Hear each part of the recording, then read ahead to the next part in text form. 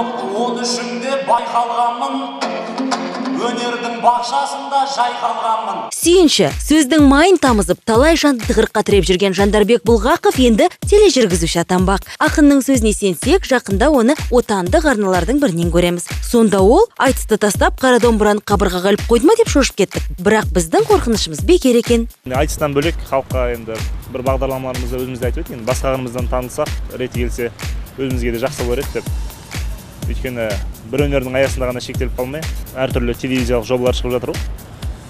Соларды бір халыққа жақсы жағынан танытуға өзіміздің бір теңіздің тамшысындай болса да үлесімізді тигізіп халыққа бір ерекше бағдарлама ұсынбақшымыз. Сөздеріңіз орынды. Жігітке жету өнерде аз деген халықпыз. Ал бағдарламаның авторы кім? Енді ол жерде біраз адамның үлесі бар. Енді бір адамның ғана ойынан шыққан дүние емес. Өзгертулер толықтырулар енгізіліп халыққа бір бұрын ол уақытта бағдарламалар болған. Соны бір жаңа қырынан таныту. Құпия болмаса жаңа жоба туралы сөз етсек аты қалай ол жерде де тізесі шыққан шоу бизнестің жағдайын көреміз бе әлде тың дүниені күтейік пе? Бұл әлі жұмбақ болса деп тұрмын да енді халыққа қазір айтпасам ертең оның дым да қызық болмай қалады ғой негізі.